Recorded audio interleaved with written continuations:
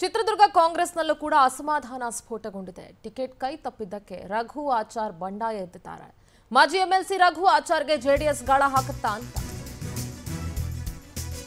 Election ಅಂದ್ರೆ ಹಂಗೆ ಯಾವ ಪಕ್ಷ ಯಾರಿಗೆ ಟಿಕೆಟ್ ಕೊಡಲ್ಲ, ಬೇರೆ ಪಕ್ಷ ಅವ್ರಿಗೆ ಗಾಳ ಹಾಕೋದು. ಸೊ ಹೀಗಾಗಿ ಚಿತ್ರದುರ್ಗದಲ್ಲಿ ಬಂಡಾಯ ಎದ್ದಿರುವಂತಹ ಎಂಎಲ್ಸಿ, ಮಾಜಿ ಎಂಎಲ್ಸಿ ರಘು ಆಚಾರ್ಗೆ ಜೆಡಿಎಸ್ ಗಾಳ ಹಾಕುವಂತ ಸಾಧ್ಯತೆ ಇದೆ. ಯಾಕಂದ್ರೆ ರಘು ಆಚಾರ್ ಜೊತೆ ಈಗ already J D S M L C Sharavana ಅವರು ಚರ್ಚೆ ನಡೆಸಿದ್ದಾರೆ.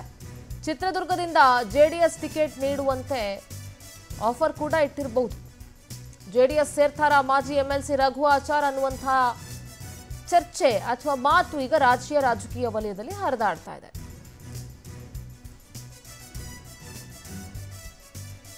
ಬಹಳಷ್ಟು ಮಂದಿ ಟಿಕೆಟ್ ಆಕಾಂಕ್ಷಿಗಳಿದ್ದಾರೆ. ಟಿಕೆಟ್ ಸಿಗದೇ ಇದ್ದಾಗ ಅಸಮಾಧಾನಗೊಳ್ಳೋದು, ಬಂಡಾಯ ಹೇಳೋದು ಎಲ್ಲವೂ ಕೂಡ ಸಹಜ ಅಂತ ಅನ್ಸಿದ್ರು, ಇಂಥ ಸಂದರ್ಭದಲ್ಲಿ ಬಂಡಾಯ ಇದ್ದಾಗ ಯಾವುದೇ ಪಕ್ಷ, ಬಿಜೆಪಿ ತುಂಬಾ ಸ್ಟ್ರಾಂಗು ಕಾಂಗ್ರೆಸ್ ತುಂಬಾ ಸ್ಟ್ರಾಂಗು ಅಥವಾ J D S weak no ಆ ಥರ ಹೇಳೋ ಹಾಗೆ ಇಲ್ಲ ಈ ಚುನಾವಣೆಯಲ್ಲಿ. ಯಾವ ಪಕ್ಷದಲ್ಲಿ ಯಾರು ಬಂಡಾಯ ಇದ್ರೂ ಕೂಡ ಈಗ ಮೂರು ಪಕ್ಷಗಳಿಗೂ ಕೂಡ ಕಷ್ಟ ಇದೆ. ಎಸ್, ಹಾಗಾದ್ರೆ ಮಾಜಿ M L C Raghu Achar ಅವರು ಟಿಕೆಟ್ ಕೈ ತಪ್ಪಿದ್ದಕ್ಕೆ ಏನ್ ಹೇಳಿದ್ರು ಕಾಂಗ್ರೆಸ್ ವಿರುದ್ಧವಾಗಿ? ಬನ್ನಿ ಕೇಳೋಣ ಈ ಕಾಂಗ್ರೆಸ್ ನಿಮ್ಗೆ ಮೋಸ ಮಾಡಿದೆ ಈಗ ನಿಮ್ಮ ಮುಂದಿನ ನಡೆ ನಾನು ಹದಿನೇಳನೇ ತಾರೀಕು ನನ್ನ ಜನರು ಕೇಳಿ ನಾನು ನಾಮಿನೇಷನ್ ಮಾಡೋದು ಸತ್ಯ.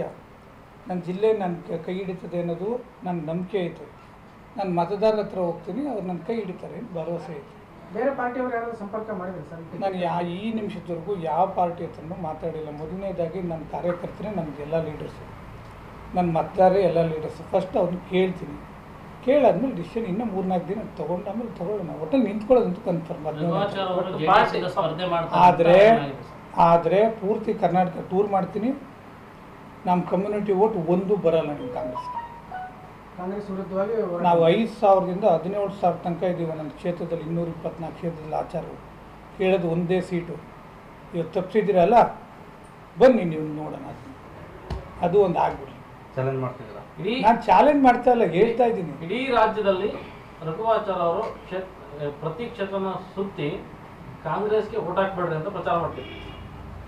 Yeah of course I do yeah of course ನಮಗೂ ಸ್ವಾಭಿಮಾನ ಇಟ್ಕೊಂಡು ಬಂತು ಬದುಕ್ತವ್ರು ನಾವು.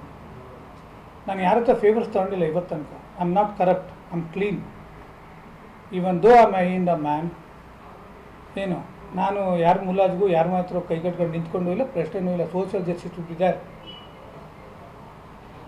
ಸೋಷಿಯಲ್ ಜಸ್ಟಿಸ್ ಇಲ್ದ ಮೇಲೆ ಪಾರ್ಟಿ ಏನಕ್ಕೆ ಬೇಕು?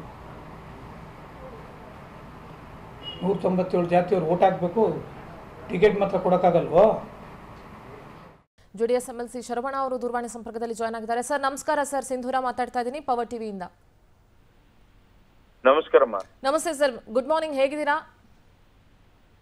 ಹ್ಮ್ ಚೆನ್ನಾಗಿದ್ದೀನಿ. ನೀವು ಹೇಗಿದ್ದೀರಿ? ಆರಾಮಿದ್ದೀವಿ ಸರ್. ಈಗ ರಾಜ್ಯ ರಾಜಕೀಯದಲ್ಲಿ ಸಾಕಷ್ಟು ಬೆಳವಣಿಗೆಗಳು ಆಗ್ತಾ ಇದೆ. ಈಗ ರಘು ಆಚಾರ್ ಅವರು ಮಾಜಿ ಎಂ ಎಲ್ ಸಿ ಚಿತ್ರದುರ್ಗ ಅವರು ಬಹಳ ಅಸಮಾಧಾನಗೊಂಡಿದ್ದಾರೆ. ಕೈ ಟಿಕೆಟ್ ತಪ್ಪಿದ್ದಕ್ಕೆ ನೀವೇನೋ ಹೋಗಿ ಅವ್ರ ಜೊತೆ ಮಾತುಕತೆ ನಡೆಸೋದಕ್ಕೆ ಪ್ರಿಪೇರ್ ಆಗ್ತಿದ್ದೀರಿ ಯೋಚನೆ ಮಾಡ್ತಾ ಇದ್ದೀರಿ ಅಂತ ಕೇಳ್ಪಟ್ವಿ. ಹೌದಾ ಸರ್? ರಘು ಆಚಾರು ನನ್ನ ಹಳೆ ಸ್ನೇಹಿತರು ನಾವಿಬ್ರು ಕೂಡ ಸದನದಲ್ಲಿ ಒಳ್ಳೆ ವಿಚಾರಕ್ಕೆಲ್ಲ ಜೊತೆ ಜೊತೆಯಲ್ಲಿ ಹೋರಾಟ ಮಾಡಿದೀವಿ ಬೇರೆ ಪಕ್ಷ ಇದ್ರೂ ಕೂಡ ನಾವಿಬ್ರು ಆತ್ಮೀಯರಾಗಿ ಕೆಲಸ ಮಾಡಿದೀವಿ ಇವತ್ತು ಅವರು ಅಷ್ಟೇ ನಾನು ಅಷ್ಟೇ ಸಣ್ಣ ಸಣ್ಣ ಸಮಯದಿಂದ ರಾಜಕಾರಣಕ್ಕೆ ಬಂದಿರತಕ್ಕಂಥವ್ರು. ಸೊ ಆ ವಿಚಾರದಲ್ಲಿ ಇವತ್ತು ರಾಷ್ಟ್ರೀಯ ಪಕ್ಷ ಕಾಂಗ್ರೆಸ್ ಇಂದ ಅವ್ರಿಗೆ ಅನ್ಯಾಯ ಆಗಿದೆ. ಅವರು ಎರಡು ಬಾರಿ ವಿಧಾನ ಪರಿಷತ್ನ ಶಾಸಕರಾಗಿ ಇದ್ದು ಕೆಲಸ ಮಾಡಿ ರಾಜಕೀಯ ಅನುಭವ ಇರತಕ್ಕಂತ ಒಬ್ಬ ಧೀಮಂತ ದಕ್ಷ ದಕ್ಷತೆ ಇರತಕ್ಕಂತ ಪ್ರಾಮಾಣಿಕ ವ್ಯಕ್ತಿ. ಅದ್ರಲ್ಲಿ ಎರಡನೇ ಮಾತಿಲ್ಲ. ಸೊ ನನಗೆ ಅವ್ರ ಬಗ್ಗೆ ಬಹಳಷ್ಟು ಕಳಕಳಿ ಇದೆ. ಅದರಿಂದ ನಾನು ಅವ್ರನ್ನ ಮಾತಾಡ್ತಿದ್ದೀನಿ. ಮಾತಾಡ್ತಿದ್ದೀನಿ ನಮ್ಮ ನಾಯಕರು ಗಮನಕ್ಕೆ ತಂದಿದ್ದೀನಿ. ಜೆಡಿಎಸ್ ಇಂದ ಏನಾದ್ರೂ ಟಿಕೆಟ್ ಕೊಡುವಂತ ಸಾಧ್ಯತೆ ಇದೆಯಾ ಸರ್ ಅವ್ರಿಗೆ? ಹೇಗೆ? ಇವತ್ತು ನಮ್ಮ ಚಿತ್ರದುರ್ಗ ಜಿಲ್ಲೆಯ ಆರು ತಾಲೂಕ್ ಏನಿದೆ ಎಲ್ಲಾ ತಾಲೂಕಿನ ಪದಾಧಿಕಾರಿಗಳ ಸಭೆಯನ್ನ ಕರೆದಿದೀವಿ ಹ್ಮ್. ಇನ್ನೇನೊಂದು ಅರ್ಧ ಗಂಟೆಯಲ್ಲಿ ಸಭೆ ಪ್ರಾರಂಭ ಆಗ್ತದೆ.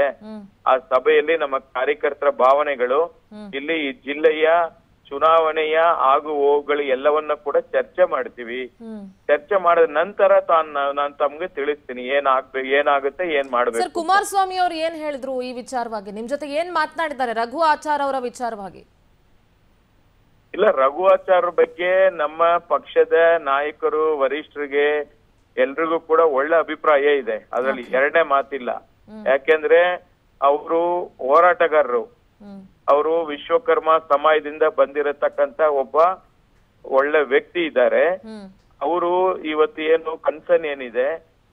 ಹಿಂದುಳಿದ ವರ್ಗ ಏನಿದೆ? ಒ ಬಿ ಸಿ ಅಂತ ಏನ್ ಕರಿತೀವಿ. ಆ ಒಂದು ವರ್ಗದಿಂದ ಬಹಳಷ್ಟು ಸಣ್ಣ ಸಣ್ಣ ಸಮಯದ ರಾಜಕಾರಣದಲ್ಲಿ ಇರತಕ್ಕಂತ ವ್ಯಕ್ತಿಗಳೆಲ್ಲರೂ ಕೂಡ ಒಗ್ಗೂಡಿಸ್ಬೇಕು.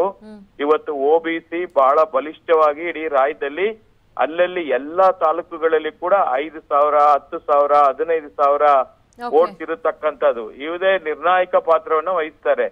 ಅದರಿಂದ ಇವತ್ತು ಸಣ್ಣ ಸಣ್ಣ ಸಮಾಜಗಳನ್ನ ಒಗ್ಗೂಡಿಸುವಂತ ಕೆಲಸವನ್ನ ನಮ್ಮ ನಾಯಕರು ಕುಮಾರಣ್ಣವ್ರು ಮಾಡಬೇಕು ಅಂತ ಹೇಳಿ ಒಂದು ತೀರ್ಮಾನ ಮಾಡಿದ್ದಾರೆ. ನಮ್ಮ ದೇವೇಗೌಡರು ಸಾಹೇಬ್ರು ಕೂಡ ಯಾವುದೇ ಸಮಾಜಕ್ಕೆ ಅವ್ರು ಅನ್ಯಾಯ ಮಾಡಿಲ್ಲ.